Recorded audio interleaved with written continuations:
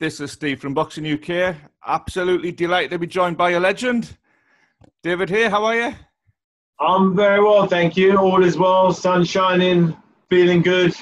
I just got out of the gym, had a good workout, and I'm, feel, I'm feeling good. Good man. Straight into it, David. Been locked down. Most of us have done the garden, done a bit DIY, put too much weight on. You've only gone and set up a company. How did that happen? I have, yeah.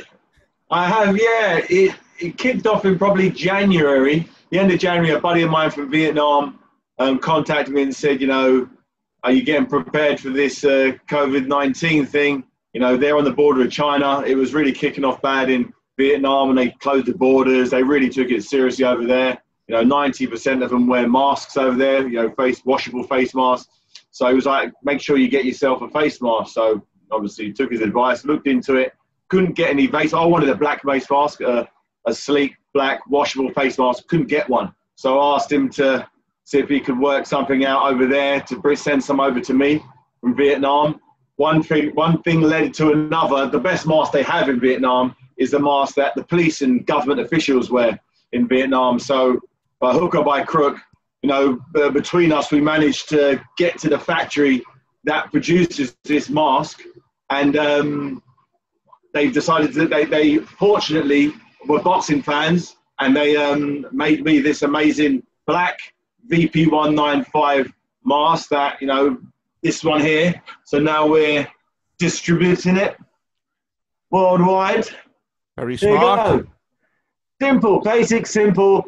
You know, you see all these other people wearing these disposable masks that like they're going into an operating theatre, and um, it's because nobody in the, in the UK we have no culture of face masks. We're in Asia, Southeast Asia. They had bird flu and SARS where they were hit real bad, and it's been had 20 years of wearing washable face masks. So after 20 years, this is what they've come up with. This type of mask, this fit, this shape, this material using nano silver um, fiber technologies. So now I've fortunately been able to get get some into the UK to distribute to people who want a nice, clean black face mask that does, and you want both times. So it's much better for the environment. You're not going to see them strewn all over the floor like you see these disposable masks. So it's good for the environment. It's, it's comfortable and it's, it's very economical. So you know, it's, you can wear it 30 times versus wearing it once and having to bin it or chuck it on the floor like people seem to do. So it's cheaper, it's better, and it's just, you know, it's definitely something that the government now said everybody has to have. No, I, I, I embarked on this in the end of January, effectively. So, you know, been, been involved in seeing the changes and seeing how the government have kind of a little bit behind the rest of the world in certain instances. But I think we're catching up with uh, what needs to be done. And, you know, people wearing masks is, is going to become sort of part and parcel with, you know, life moving forward. Yeah, I don't want to make a cheesy pun early in the interview, David, but timing's always been one of your strengths. The, the yeah, was launched on Thursday. Yeah. and the, and the yeah, exactly. compulsory Friday. I know, I know. It's uh, you know, timing has always been one of my big things. It it started to mess up as at the end of my boxing career. My timing just went out just slightly, but it seemed in a business sense, it seemed to sort of it's going, it's going back to the heyday. Good man. Um, David, you know, he said you, he was a big boxing fan. The guy, who, the manager of the factory. Yeah. What did you have to send him to make sure that you got these black masks in return? No, he. Uh, think about it. If you're a, you're in Vietnam and you're you own a government factory, it's very you're doing the same thing every day. You know, but so when you get contacted by a former heavyweight champion of the world, you're going to take note. Obviously, you know, he's obviously just sending out these masks to the police, to the, the protective services, and you know, he's just doing his everyday thing. So obviously, David Haye then contacts you from from the UK saying, "Love the product, heard all about it. Is it possible for me to to for you to make your product and send it to me to distribute um, worldwide. And it's like it was it was uh, other than kindness and you know um, getting a nice rapport. You know, I've got people on the ground out there. A good, very good friend of mine is based in Vietnam, and he obviously did a lot of the logistic, logistical side of it from that side. So, it, other than friendship, that's that's all it's been, thankfully. Oh, good man. So, you obviously found about this in January, David. It's taken until yeah end of July. Couple of why black? Yeah. Because I think I, I, saw in an interview. I just that's what I wanted. I, I want I. Yeah, I wanted a black mask. That's what I wanted. You know, I wanted a black mask because it goes with everything you wear. I don't. I don't want it to be a lot more stealth-like. I want it to. You know, I wear a lot of black. Wear black. All my jeans are black. You know, I always wear black hoodies, and I just wanted something that matched my clothes. That didn't stand out. wasn't too bright. So I thought, okay, just a black mask. Keep it nice and simple. I've got five sizes, all in black. Bang! If you need a black mask, black mask, the blackmaskcompany.com. Get your black mask. Simple as that. And I thought, okay, it's such a simple thing that I, I, it's you know people seem to really like it. People people want it, and um, you know the, from the orders that people have uh, have made now, it's definitely something that you know is is needed. You know, more people need washable masks. You know, a lot of the disposable masks they're white or blue, and they look horrible, and they they, they rub your nose, give you a rash, you get sweaty underneath. But these are sweat absorbent.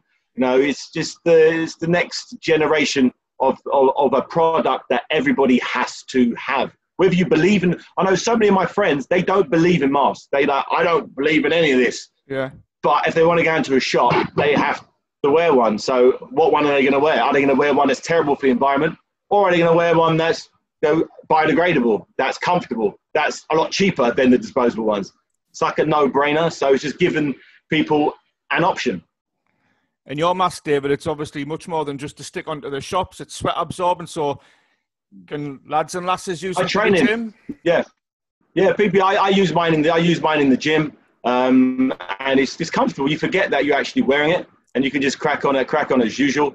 Um, you know, a lot of people are very sort of paranoid about being around anybody. So, particularly in the gym when everyone's breathing hard, everyone's sweating. Now, I just always you know, I wear mine. If, kind of, you know, if you if you've got a personal trainer or something and he's helping you out, you don't want to be breathing all over him, particularly at a time like this. Hopefully, you know, give it a few months. Hopefully, once they figure out and everyone calms down with this thing, hopefully these masks at some stage will be a thing of the past. But at, at the moment, they've just kicked in. So whilst that is the case, you know, I think you know the least you could do is you know, put a mask if you if you if you've got such a such a nice, comfortable one. Yeah, hopefully it'll be over, David. But yesterday, yeah. I think it was on the news. Boris Johnson was saying that the second lockdown in Europe's looking imminent. So these masks might be really, really needed longer than we think. Yeah, yeah. It's just, it's, it's uh, I don't know all the legislation, what's happening out in Europe. You know, obviously, been focusing on the on the UK, but you know, there's you know, it's it doesn't seem like it's going away anytime soon. Um, the numbers, from what I can see, I just get the same information as everybody else. You you're looking at the paper, read on the news. Um, it seems to be calming down. But as you said, there seems to be some issues in Spain, and there's a, this is sort of flared up in, in a few countries. So, know, you, you, just, you just have to be kind of as proactive as possible and try and do what you can to protect yourself. And where can our followers get these masks from, David? Theblackmask.com. Simple as that. That's it. You want a black mask, go to black mask, theblackmaskcompany.com, and there you go. Simple. Brilliant. We'll, we'll use that clip for the Twitter page, David. oh, man. Can I ask you five minutes of your time, a couple of boxing issues? Yeah, go for it, go for it. Yeah, can't, go for it. Can't have you on. Um, linked to COVID, how damaging do you think COVID's been for the sport, David? Obviously, we've seen a little bit of boxing. Um, I think I think it's been I think it's put a lot of fighters back literally six months. However, they were progressing, it's, it's, it's reversed their career by six months. You know, some even more because although they've not been able to perform for six months, their body has degenerated six months because they haven't been able to do the sparring, they haven't had the regular fights, they haven't been in the gym, they haven't been focused on, you know, boxing, they've been focused on, you know, being, you know, what's happening in this pandemic. So it's definitely put put the sport back six months. But it's fantastic what you know Frank Warren and Eddie Hearn are doing, finding a way to make sure that us, uh, the young fighters, have a portal to fight. Although there's no crowd, nobody wants that. But they've got an opportunity to uh, first off stay sharp, keep them keep active, give them something to fight for, give them something to train for. You know, put some money in their pocket in one of the worst economical sort of downturns that I've ever known in my lifetime. Yeah. And it's, you know, it's, it's, it's, and one step was baby steps at the moment. The British Boxing Board of Control have done a fantastic job making sure that they've ticked all the legislative boxes to make sure that these fights can go ahead to the point where they're putting the fighters in quarantine and they're bringing them into the arena. They can't be in contact. They're doing testing on. They're doing everything that they have to do to allow these fights to go ahead safely. And you know, it's it's, it's cost so much money, additional money that wasn't usually done. So you know, Ed, Eddie Hearn and Frank Warren have put their hands in their pockets effectively to really make sure that these fighters get their get their fighters back on track. And um, you know, that's that's you know, as a sport, we always find a way boxing. And I'm just fortunate that you know we we seem to have found a way. You know, you got BT Sports doing a thing, you got Sky Sports also making sure that you know, although they're smaller shows, it's still show, it's still boxing, it's still out there. The you know, the the boxing economy has started to move again. You know, you got matchmakers, trainers, promoters. You know, you got you got assistant coaches, you got all of the fighters, all of the infrastructure surrounding them, from the guys who make their food to the guys who, who make the shorts for the fight. There's so many different elements that are connected to these events going on. It's so good to have it happening now. Now I've done two shows on BT Sport, both fantastic shows. Bit weird not having the crowd in the studio, but I was so happy that after the fight, all of the fighters were just proud to get back out there and, and apply their trade. Yeah, we saw you on uh, was it Friday, Saturday night? Yeah. Um, obviously, the big fight was Joe Joyce yeah. Um, the general consensus with that one, David, seems to be he showed enough that he could wear Dubois down when they meet, but he also showed enough that he can take flush right hands. he took yeah, he took a few big right hands, and that's all good and well. We all know we, we all know he has a great chin. And you know, when I was working with Joe, it was it was I never wanted to rely on his punch um, resistance. You know, that is the final that's the final stage of, of, of, your, you know, you don't drive a car recklessly because you've got a seatbelt on and the seatbelt works. That's a crazy way to, yeah. to, to, you know, just because you have a good chin doesn't mean you should show it every time you fight. So, you know, I definitely feel him engaging his, his uh, defense, moving those head, moving that feet out of range when the shots come, and not just leaning back.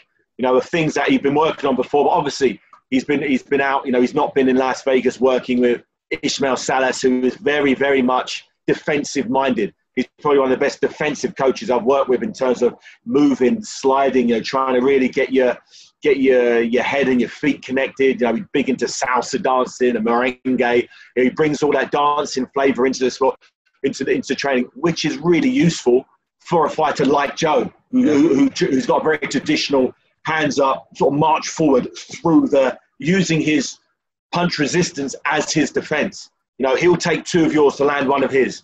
And that's good against that level of opponent they was fighting. But against the real sharp shooting, power punching, knockout specialist like Dubois, it's a very risky toss a coin type of uh, uh, strategy.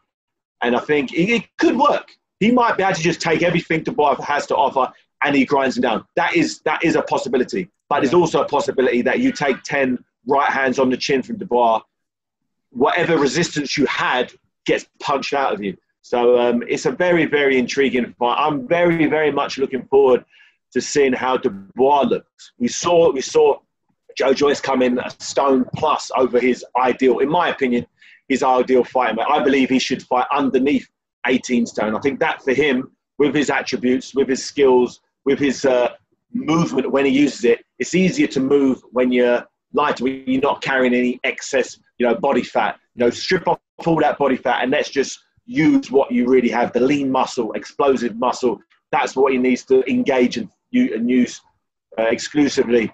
You know, Dubois, I don't know what he's going to weigh. I don't know how sharp he's going to look. Is his head going to be moving? You know, what Dubois does, he's, he counters. You know, you throw a shot at him, he slips it, boom, and it's all over. You know, is he going to be like that? Or is this break, this COVID break, has that knocked him off kilter? You know, we don't know. So I'm looking forward to seeing how he does in his, his fight because he's got a live opponent. You know, a guy who's a former Olympian, a guy who fought in the WSB. So he's fought at a very, very elite level as an amateur yeah. and sort of semi semi professional level as well.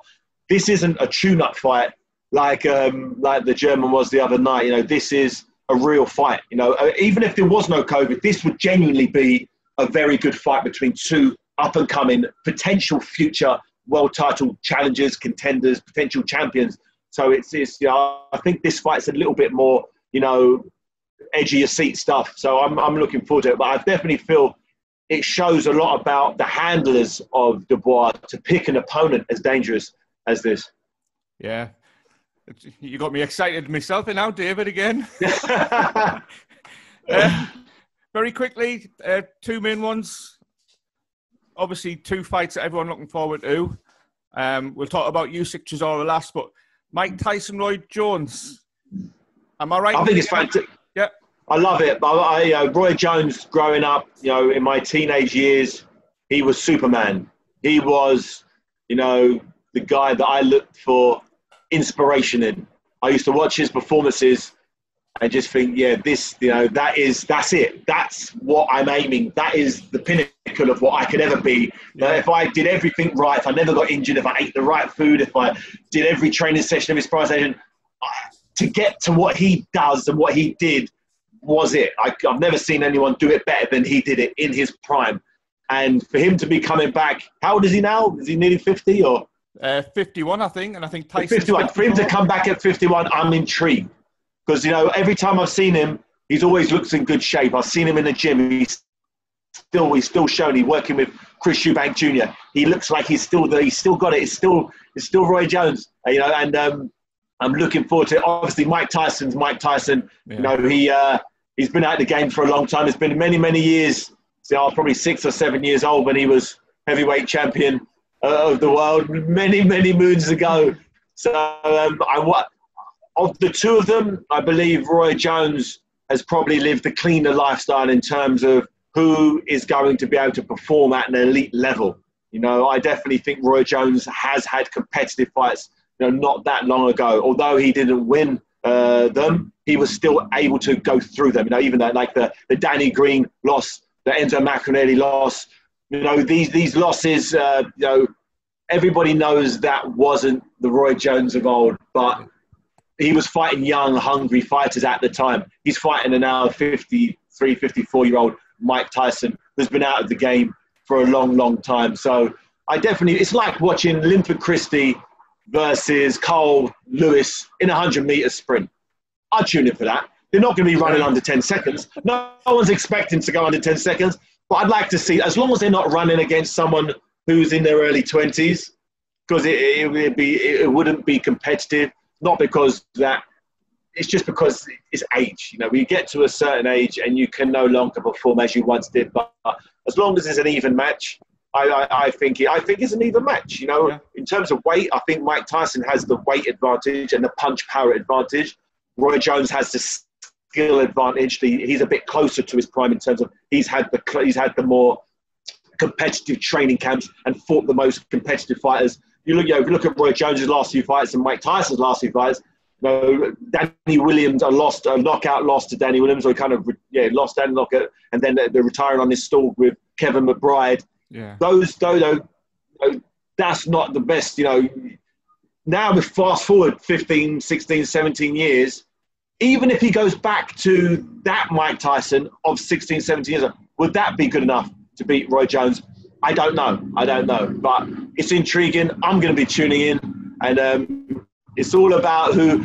If Mike Tyson can land one of his devastating combinations I'm seeing hitting the bags with you know, you can get it over early. But if he can't, if Roy Jones Jr.'s reflexes are 20% of what they once were, those shots that seem fast from Mike Tyson, I don't think are going to be catching Roy Jones Jr. But all it takes is that one, that one left hook from Mike Tyson. Even a 54-year-old Mike Tyson can change everything. You know, I've seen him. You know, he's got that devastating one-punch knockout finish, and you'll always the last thing you lose is your punch George Foreman showed at the age of 45 against you know, Michael Moorer. All it takes is that one shot, that heart, and that one shot, and you can do anything. And he's not fighting a young Michael Moorer; he's fighting a, an old Roy Jones Jr. So it's you know it's a very very intriguing fight. I'm looking forward to it, and you know as long as both fighters you know finish this exhibition fight healthy, we're all entertained. They get a payday. It's it's a win win win for me.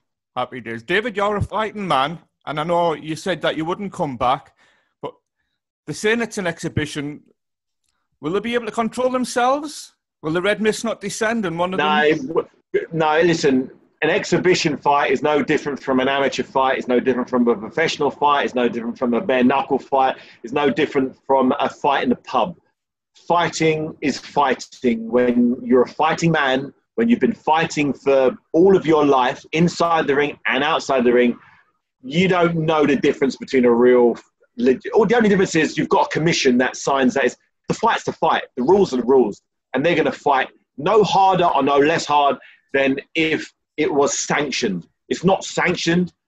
It's not going to go on their records, but it's a fight. And they, you're going to see both fighters giving all they have. No fighter's going to give up halfway through because they got out of breath. No, this is what this what this is going to be just as intense as any real fight you'll see anytime soon. And um, I'm I'm literally I'm, I'm looking forward to this this showdown. They say it's an exhibition. It's not. It's a real. They're going to go out there and they're going to try to seriously knock each other out. Both fighters, uh, the most vicious, dangerous fighters you've ever seen in your life. In their primes, they're, they've they've both, they're, they're both genetically designed to do this game called boxing, and that's it. And they're both two of the best that have ever done it in the history of our sport. And to get them to both come and do it at the age of 50 plus, I think, I think it's a good thing. I'm looking forward to it. Good man. Last one, I promise. Uh, the last, the last, last one. The last, last one, I promise, David. Um, obviously, you're Derek's manager. We've seen Alexander Usyk putting a couple of videos out lately. Um, I enjoyed Derek's pictorial response yesterday. That one. uh, just where, where are we at at the moment? How's Derek? Derek's good. He's training. You know, we're, we're, we're focusing on mid September. We're working on that as a date. Nothing's confirmed, nothing's uh, rock solid, but in your mind, you have to have a date to work towards. If you don't have a date to work towards, you're not really focused 100%. So we put that in as the date in his mind that he's working towards. All the training program, the periodization between strength training, speed training, sparring is all gearing up to mid September. That looks like it. You know, that'll be six, seven weeks after the um, Alexander Povetkin and uh, Dillian Whyte fight that happens on the 22nd of August um, in um, Eddie Hearn's backyard. So that you need, you normally need six, seven weeks between pay-per-view events, ideally. So that's what we're kind of working towards at the moment. Um, but, but, hopefully we should know something um, in the in the next couple of weeks. But Derek's training, he's eating healthy, he's looking after himself. Alexander Usyk is, is exactly the same. He's he's working hard, he's training, he's working towards a similar date. So that's the thing now. Boxers have to start working, training with no real rock solid date in mind. They have to be very professional. They've got to not have the signature signed before they start training. They have to invest in their own training program, getting in the sparring, getting the nutrition sorted, you know, getting the your weight, your, your strength and conditioning guys, making sure you've got the equipment. You know, you, you've got to invest in yourself with no guarantee of a date get, to getting the payback. But that's all about being a professional boxer and um, that's that's a lot of fighters are going to fall short because some fighters require 12 week signature. Then they've got 12 weeks. They know they're going to use this training. Get no, you just got to start training as though you're going to be fighting potentially six, seven weeks down the line. And when if you're lucky enough to get an opportunity, you're then not going to be one of those fighters. Go, oh, it's not enough time. Well, you just have to. You're a professional. You have to do it. And when you get an opportunity, if you want that opportunity, you need to be professional and keep yourself no more than seven, eight weeks away from fighting shape. And that means ticking over in the gym at least once a day, six days a week, working hard, working on your strength, maybe sparring once a week, hitting the pads three, four times a week, just to keep your eye in. You know, some fighters do it, some fighters just completely switch off. You know, I definitely prefer fighters who live the life, you know, whether they've got a fight date or not. You're a professional athlete. You need to keep your eye sharp, keep your keep your you know, keep keep your skills fine tuned, and um, keep consistently growing and getting bigger and better and stronger. Good man, and you're hoping that there might even be some fans in the arena. Yeah, ideally. In, in October, we, we're looking at hopefully because you've got the um, Dubois and Joyce. Fingers crossed that fight happens. Um, so hopefully that's that's that's scheduled to happen at the O2 Arena. So I assume they've booked the O2 Arena because it's got plenty of seats. Whether how many of those can be filled is unknown as yet, but it's a good sign that you know the promoters that Frank Warren has booked that venue. He might he might know something You know, he may be working something out with the government in terms of what potential restrictions there are. They're working behind the scenes. You know, the big boys that are with boxing are, are working on trying to get the fans back in there to you know see these fights in the flesh. Good man. And if only there was some stylish black masks that they could wear inside the arena, David. Listen, listen. Maybe you know. The, the, I'll have a word. I'll see what I can do. I'll, I'll have a word. See what can do. Good man. Rem- remind us where they can get these masks, David. The Theblackmaskcompany.com. That's all you got to do. Go there, check them out. If you can buy them, if you don't, don't. But if you're gonna, if, you, if you're not gonna, even if you're not gonna buy my mask, buy a washable mask. Don't buy a disposable mask. 129 billion masks per month. Disposable masks are getting just put out into the atmosphere. There are more. There are more disposable masks in the ocean than there are jellyfish. Not a good situation. Leave the medical masks for people in hospitals. Don't be getting on the tube and throwing them on the floor. Get yourself a washable mask that you can put in the washing machine and then wear it multiple times. It's just a no-brainer. Good man. The blackmaskcompany.com. David Haye, it's been an absolute joy. My pleasure. I shall hopefully see you soon. Definitely, definitely, definitely. All right. If you can recognise me through a mask. It's already on its way, David, I promise. All right, you take Lovely. care. See you later on, mate. Thanks, David. Bye. Take care.